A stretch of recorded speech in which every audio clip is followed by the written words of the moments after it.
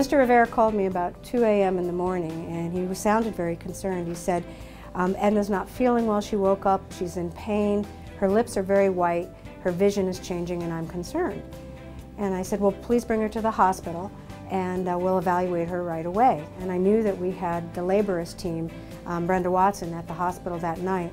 When Edna got here, she was actually in shock and she had been bleeding into her abdominal cavity through a hole in her womb.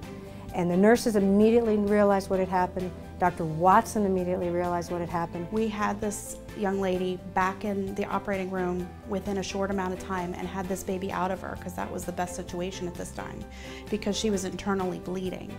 Just like if somebody got their arm, you know, cut open, a leg, she was bleeding inside and she had minutes.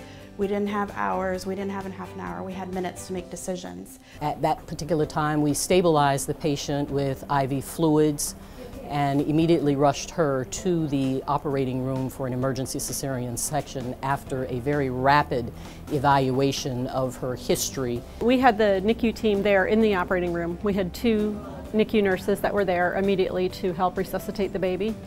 Uh, the fact that all of our labor nurses are also trained to help take care of the baby gave even extra hands to help resuscitate the baby. Um, and the baby got excellent care from the second she was born. By the time I got here, and I think it was probably 15 minutes, the baby was already out. Dr. Watson was in the operating room, had gotten that gorgeous little girl out, and they were working on her, the neonatal intensive care nurse, nurses, and our neonatologist was coming in.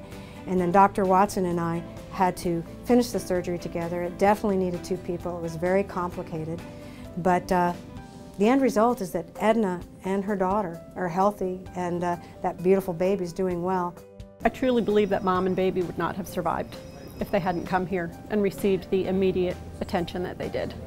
Her condition was extremely serious. Having an OB hospitalist here to immediately take care of the patient was literally the difference between life and death.